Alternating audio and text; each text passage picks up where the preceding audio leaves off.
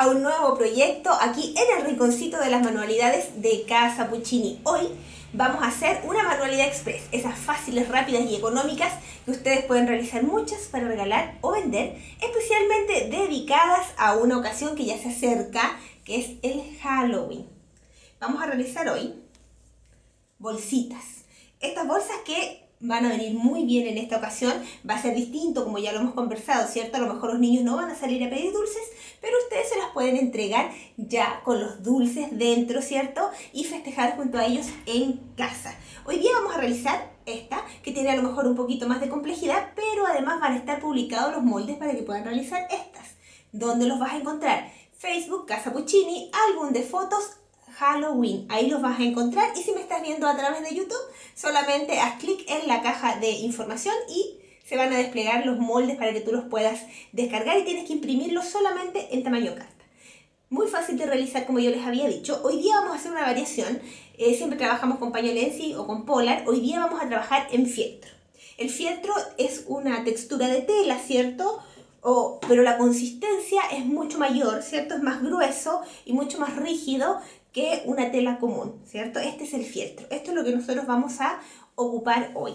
La base de esta bolsita, que es una calavera, ¿cierto? La vamos a cortar dos veces y ustedes van a elegir cuál va a ser su base para que podamos decorarla. Yo voy a elegir esta.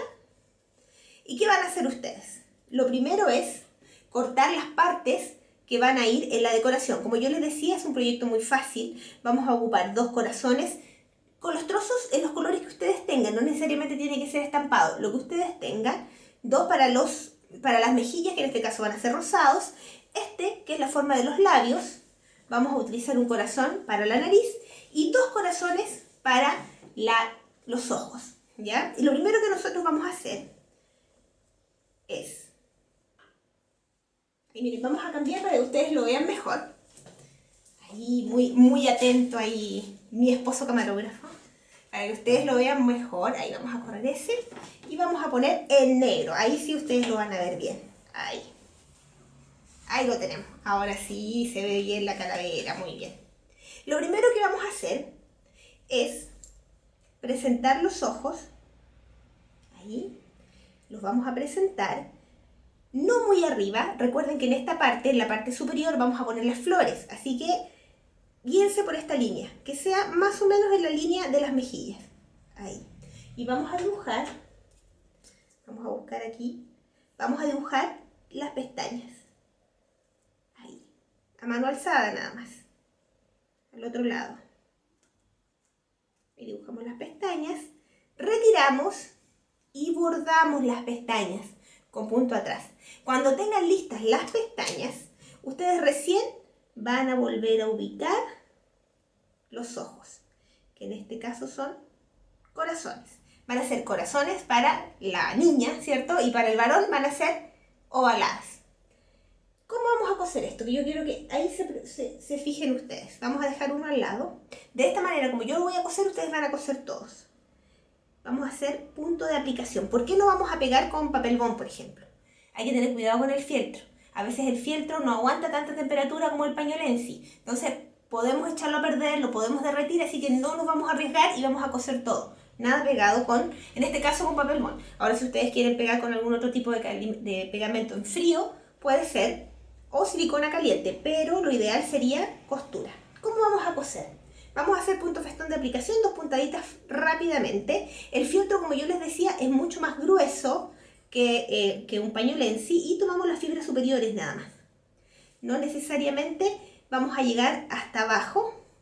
La idea es que vayamos haciendo la lazada y vayamos tomando la parte superior o las fibras superiores de la tela más la tela superior.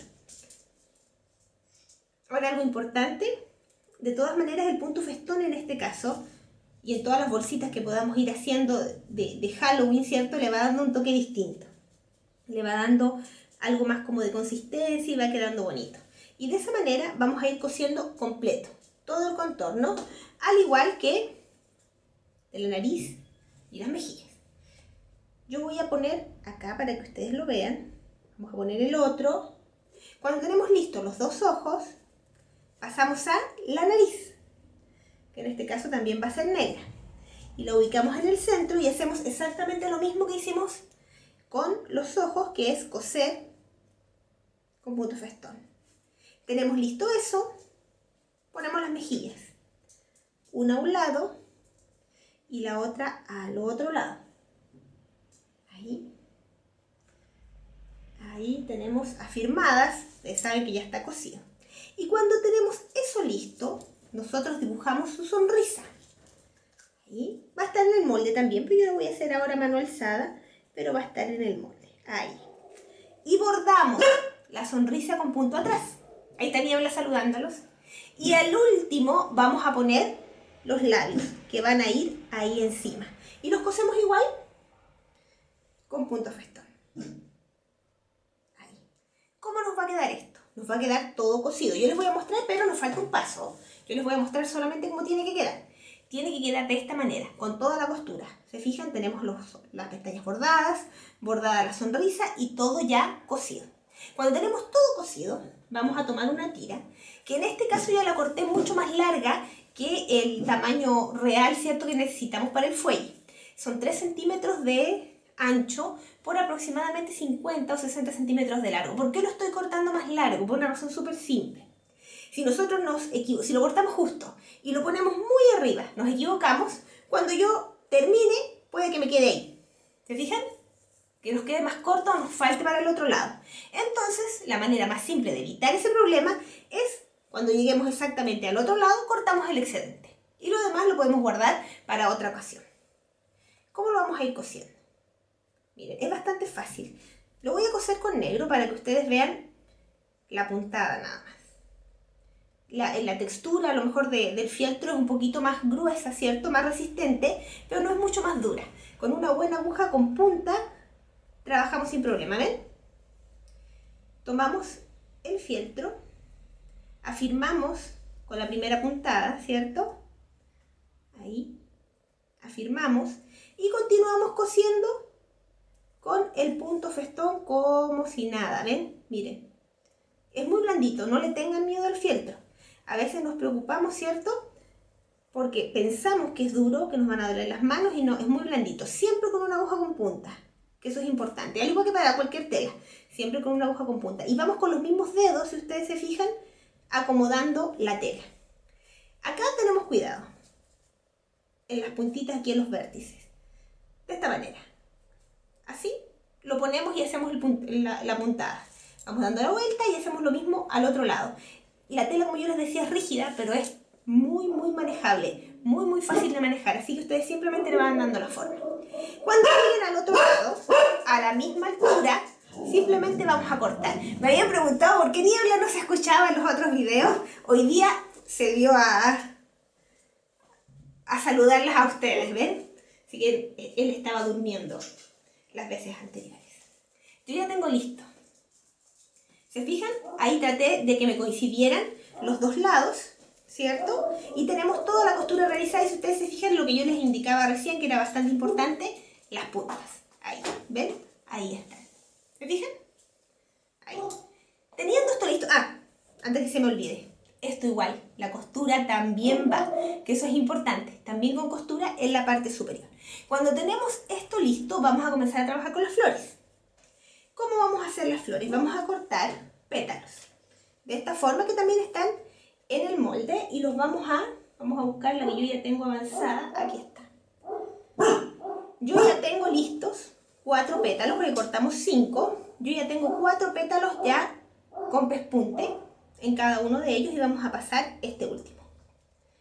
Ahí. Un pequeño pespunte, nada más que eso. Ahí pasamos el hilo y vamos a tirar. Miren, nada más que eso, ¿ven? Ahí podemos hacer un pequeño remate aquí, de esta manera, y después recién unimos todos los pétalos ahí y le hacemos un pequeño remate para que no se abra. Ahí. Después no se preocupen por la perforación porque la vamos a tapar con un botón. Ahí.